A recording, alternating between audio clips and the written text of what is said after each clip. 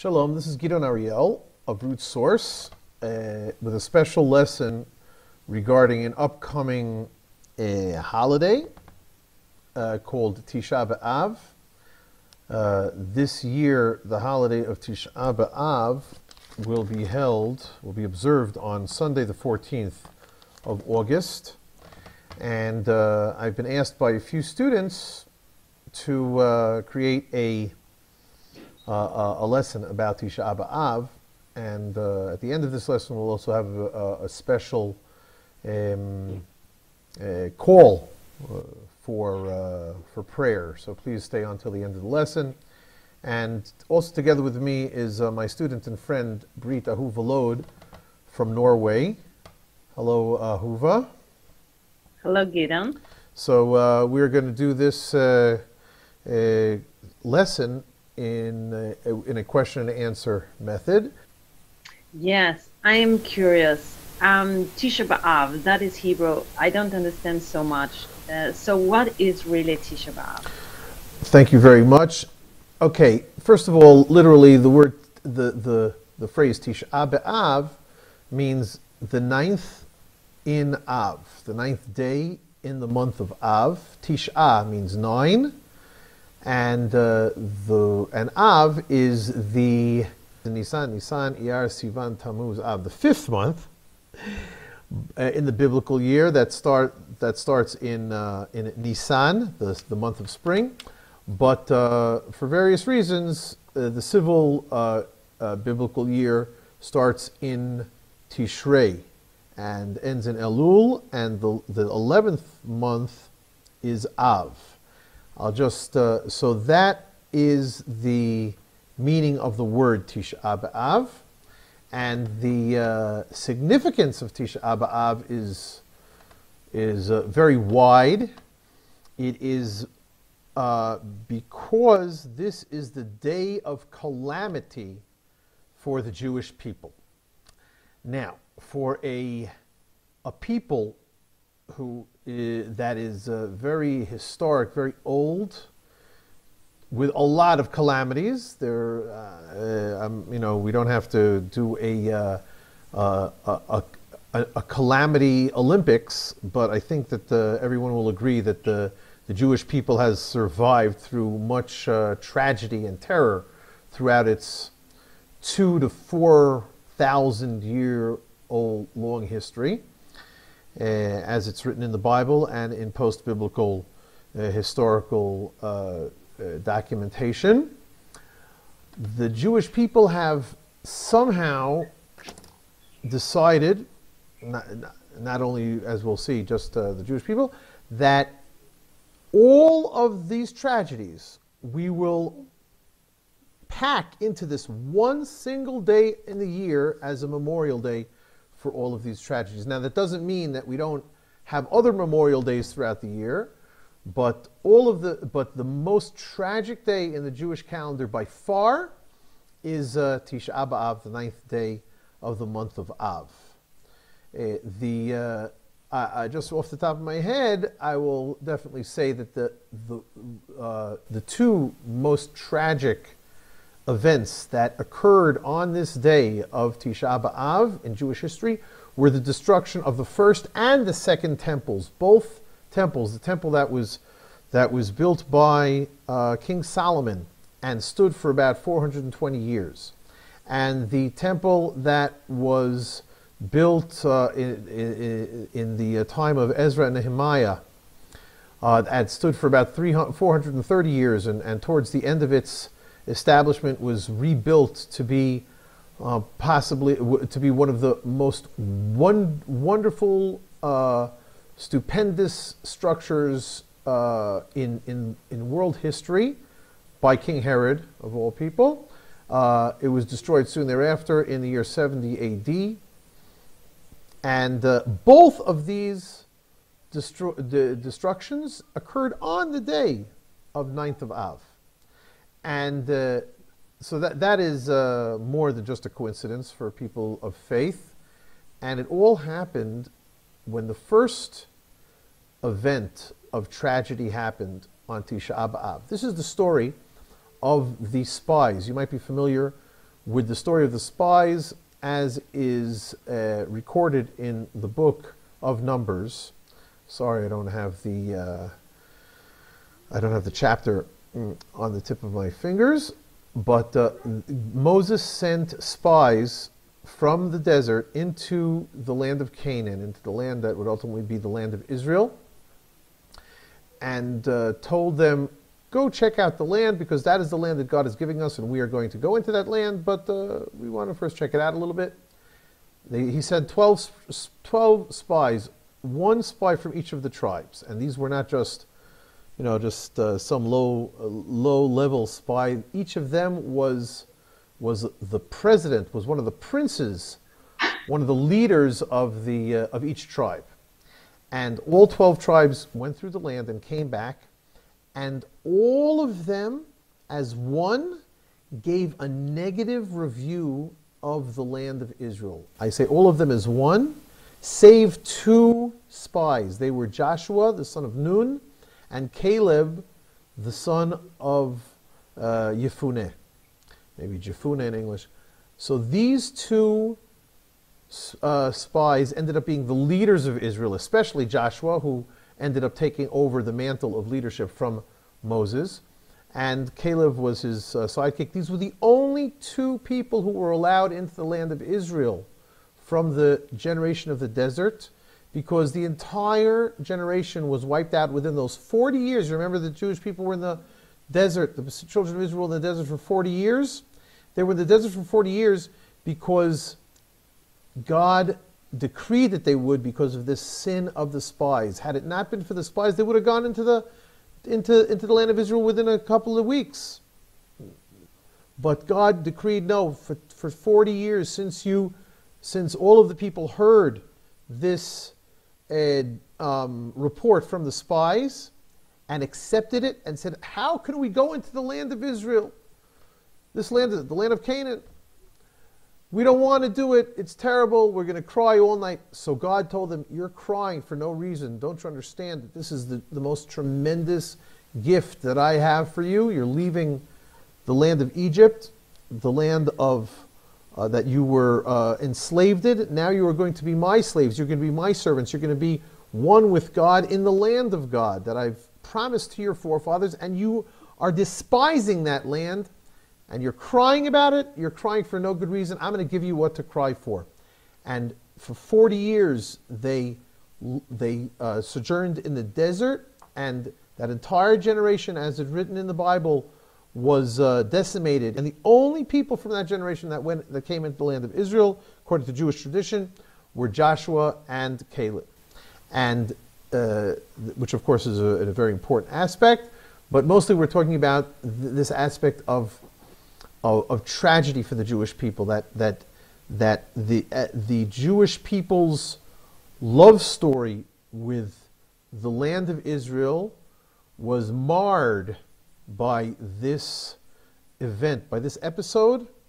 that's that's a small world, small word, but uh, and it ended up being the um, archetype of of tragedy for the Jewish people.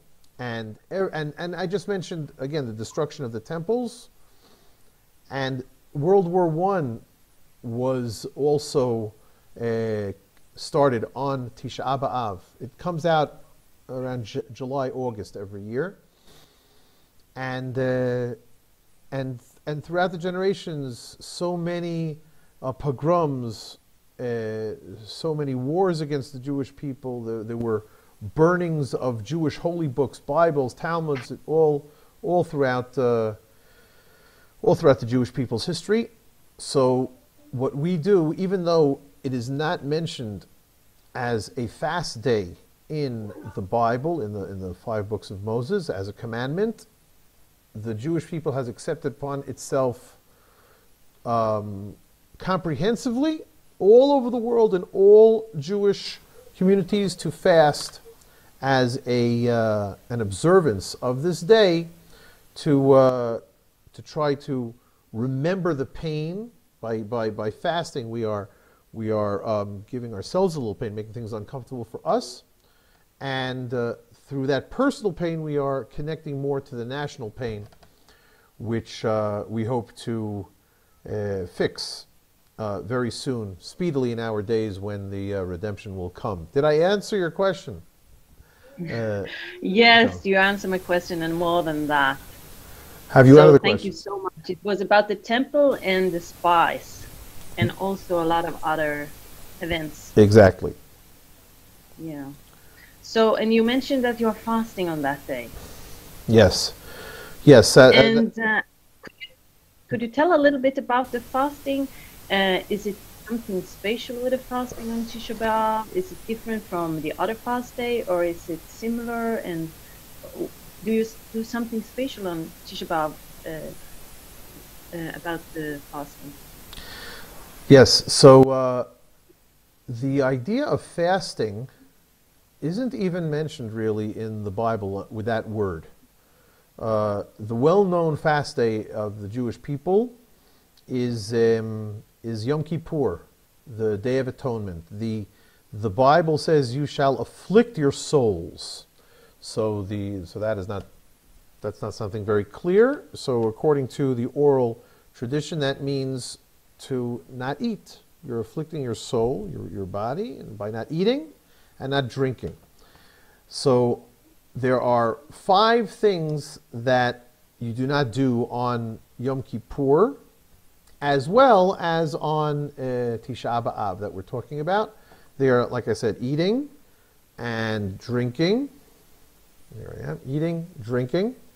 You can't wear leather shoes that entire day for 24 hours from, you know, the Jewish day starts the night before. So for 24 hours, you don't eat, you don't drink, you don't uh, wear leather shoes. Um, you don't uh, apply uh, salves or oils to yourselves. That's not done so much anyway nowadays, at least uh, us men. Whatever. And uh, you don't have uh, marital relations.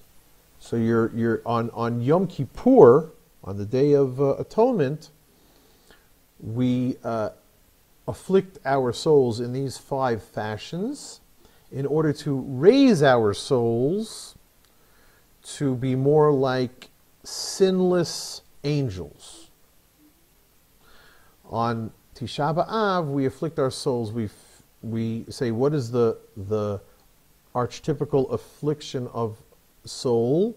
What we do on, on, uh, on Yom Kippur. So we do the same thing, but not in order to be more, more like angels, but to afflict our souls and to remember the tragedies that we have done, that, that, that have bef- befallen us throughout history, and to pray to God that He will accept our recognition of this of these problems and accept our um, f- uh, uh, uh requests for forgiveness that we are, that we are uh, doing tshuva, that we are repenting, or accept our repentance. Um, and in fact, Yom Kippur, I'm sorry, Tisha B'Av is connected to the holidays and the, uh, the season of repentance because soon after Yom Kippur comes Elul, the, the last month of the year, which throughout that entire month we uh, say special repentance prayers. I won't go into it so much now. Followed immediately by Rosh Hashanah. In the Bible, that is called the, the Day of Trumpets and the Day of Remembrance. And uh, uh, according to Jewish tradition, that is the day, uh, it's the first day of the year. We're, we're happy that uh, we have a new year, but we're also re- spent the entire month or, or week or two beforehand trying to repent for all of the sins of the year and to start on a new slate. And then we have the 10 days of repentance following, including Rosh Hashanah, the first 10 days of that first month of the year of Tishrei, concluding with Yom Kippur, which is a, a, a very holy and somber day where we uh, uh, all day long are in the synagogue praying and requesting forgiveness from God. On Tisha B'Av, we also spend a lot of time in the synagogue. We are not uh, required, like on Shabbat or Yom Kippur or on or other holidays, to uh, refrain from certain acts like uh, turning on a light or driving in a car. You know, you can't. Uh, Jews don't do that. That and many other things uh, uh, or cooking on, on Shabbat and on Yom Kippur. On Tisha B'Av, you're allowed to do anything like that, uh, but it is certainly most of the morning is spent in the synagogue saying the uh, special prayers that have been uh, that have been written over the, the generations, thousands of years, uh, about Tisha B'Av. And I once, uh, and I don't remember uh, who uh, came up with this, this interesting idea. There are two days that we fast. there's an asterisk there, I'll get back to it in a second. The, the two major days that we fast are Yom Kippur and Tisha B'Av. So we say that uh, on Yom Kippur, you're uh, too busy. I don't remember this, but I'll, so I'll make something up. On Yom Kippur, you're too busy praying in order to think about food. And on Tisha B'Av, you're too sad in order to think about food. The idea of, of, of connecting to a national and really a universal um, uh, sadness I say universal because, of course, the, the, the, Jewish people are so much part of the history of the world, and I think that anybody who, who sees today's current events can, can appreciate that. Um, and, and that is really, I think, what is a connect, what, what is so important in so many aspects of uh, Jewish uh, ritual. It's to connect the individual to the national and the universal in, in almost everything. That's, that's, that's for a, a different lesson. Um, I gave you an asterisk about the two, uh, the, the two fast days. We actually have another four fast days throughout the year.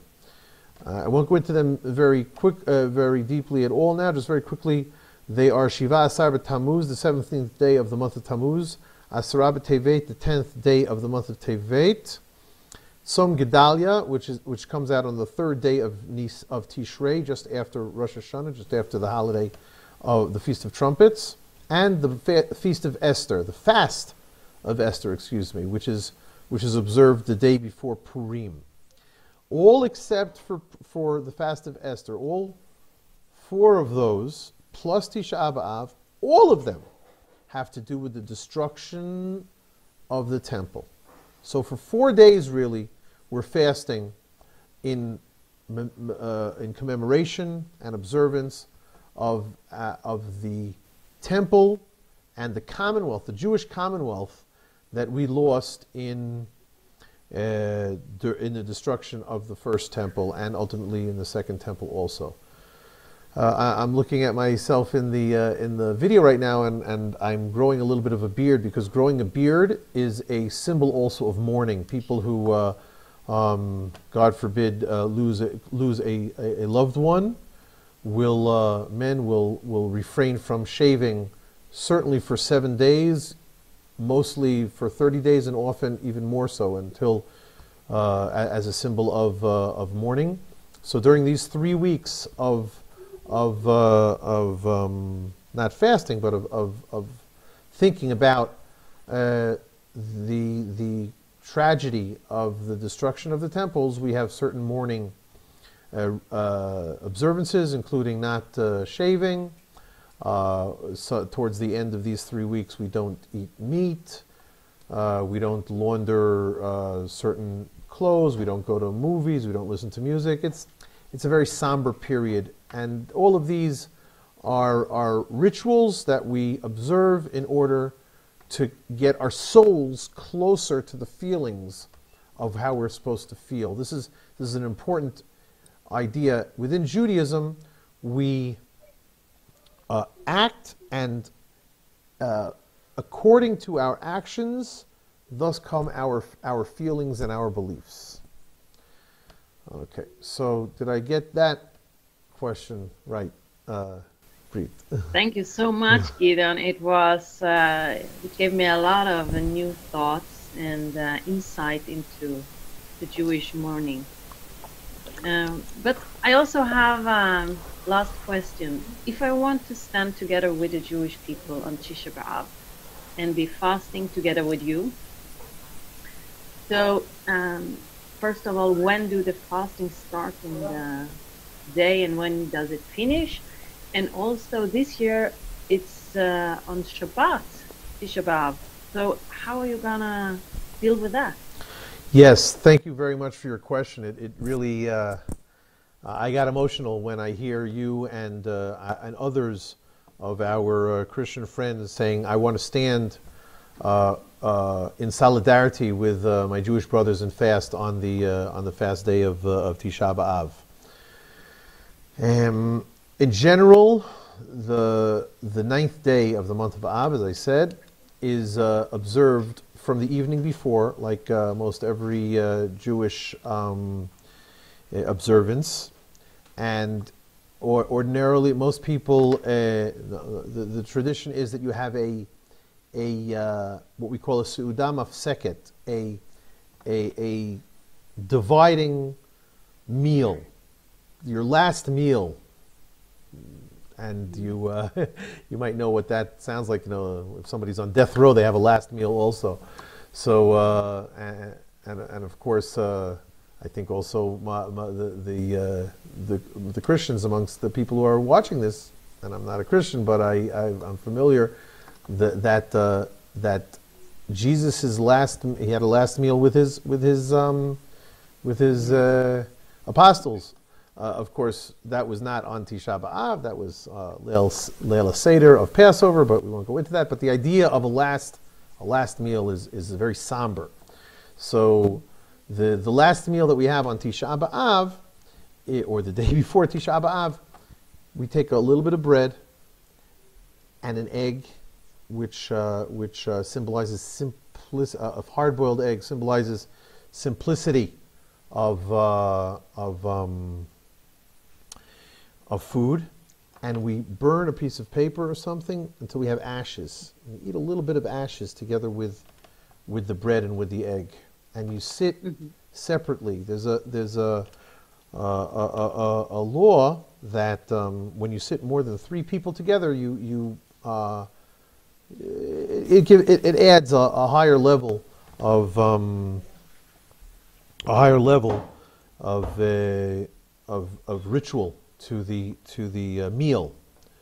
So we don't want to have that higher level uh, on this last meal before Tisha B'Av, so you're, you uh, uh, are commanded not to sit together. So you sit less than three people at a time so that you don't, you don't have that added uh, uh, specialness. And that meal, that last meal, is held shortly before sundown. Obviously, a sundown is different in every, in every place in the world. Here in Israel. It's actually different by a few minutes in different cities. I think we're talking about something like uh, 7:30, I think, and uh, um, and, uh, and and this fat. Uh, so you stop eating a little bit before. You don't want to, by mistake, get up to the line.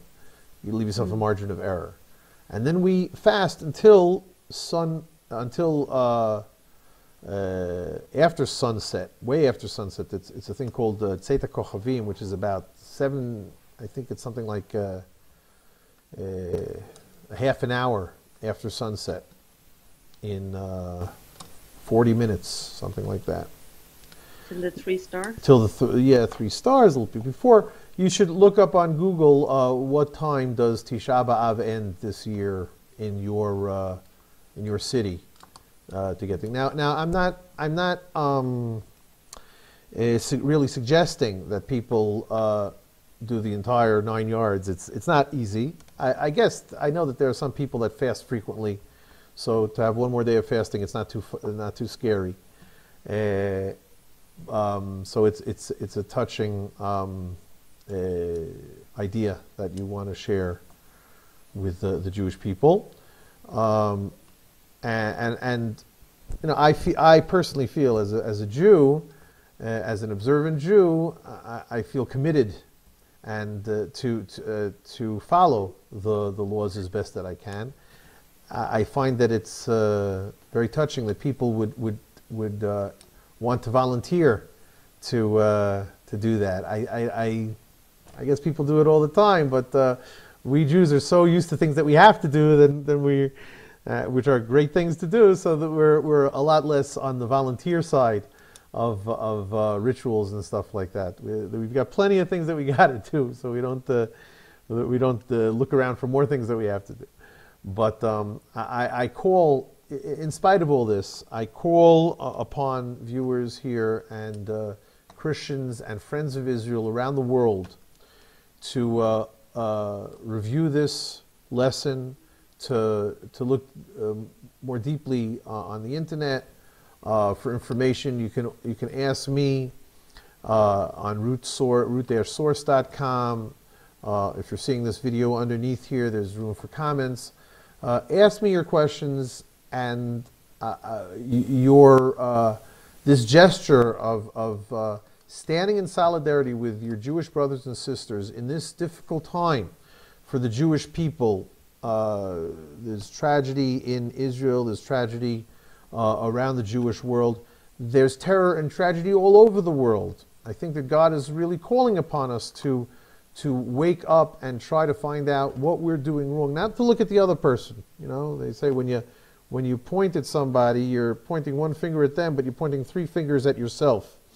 And so we have to look inside ourselves to try to find out where can we be better? How can we behave better with our fellow man? How can we uh, re- react better to our children, to our spouses, uh, just to be better people? I think that that is what God mostly wants that we that we be good people. And uh, I, am sure that people who are watching this video are are starting out at a very nice high level of, of goodness, and you're you're aiming to get higher.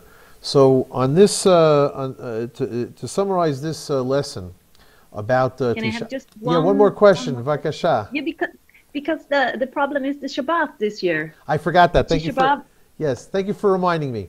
Thank you, beautiful. That's yes. Um, the the law is that Shabbat is a happy time, and so even though we are uh, observing uh, rituals of mourning uh, throughout these three weeks, and especially on the fast day of Tisha B'av, we are uh, we are commanded not to mourn on Shabbat. When Shabbat comes around, it's as if the world stopped, and all we have is the connection with Shabbat, with Hashem, with God. Um, so when we, uh, so even though the ninth day of Tisha, the ninth day of the month of Av, falls out this year on a Shabbat. It is deferred to Sunday. And on Shabbat itself, we do not um, fast. We don't, don't eat that uh, Seudah Mafseket that I mentioned before. I spent so much time explaining about it. No. Until sunset on Saturday, on Shabbat, it is Shabbat. No um, mourning at all. Uh, so, th- so uh, no, no uh, last meal. As the as the sages say, you can have a meal that is like the uh, most fabulous, uh, s- s- sumptuous uh, dinner that King Solomon had in his day, with meat and with wine. Even though we refrain from meat and wine during the last uh, week before Tisha B'Av. On Shabbat, we, uh, we will not have any uh, uh re- reminders of the tragedy of the morning at all. And uh, we just start immediately, no earlier than uh, total nighttime on Saturday night, the eve of the Sunday. So again, I, I might not have all of the rituals down pat, and I'll be happy to uh, get more questions from you, and maybe I'll have another uh, uh, lesson for you ready next week. Um, but uh, for now, let us uh, conclude with a prayer that may the uh, the tragedies of of the fast that we observe in memorial in, in commemoration of them throughout the generations and throughout the history of the Jewish people and the world, may they be turned into holidays. This is really actually the famous um, prophecy of uh, Zechariah. I think it's Zechariah 12, where uh, Zechariah was the was the um, prophet, one of the prophets, at the beginning of the second temple, and people asked him, "Here we're building the temple again. Maybe we can uh, stop uh, fasting." And he said, "One day it will be that we will, all of these fasts, especially Tisha B'av, will be turned into days of holiday and gladness and happiness." May we uh, conclude this lesson uh, uh, that this uh, Sunday in a week or two from when I'm recording this, may it be turned from a day of tragedy, from a day of sadness, to a day of happiness, to a day of redemption. May we all merit to uh, see the, the complete redemption with the Messiah coming to redeem our souls and uh, to have uh, uh, our relationship with God once again connected in the most close way that we can that we can fathom and that we cannot fathom here today. Thank you very much for. Uh, amen, amen, amen. Th- thank you, thank you uh, again, my student uh, Brit, for um, for being with me and helping me with this lesson. Thank you all for watching this lesson. And again, if you have any questions, please ask. And, uh, and thank you for joining us on, uh, on Tisha B'Av on uh, August, Sunday, August 17th, 2016. Shalom, shalom.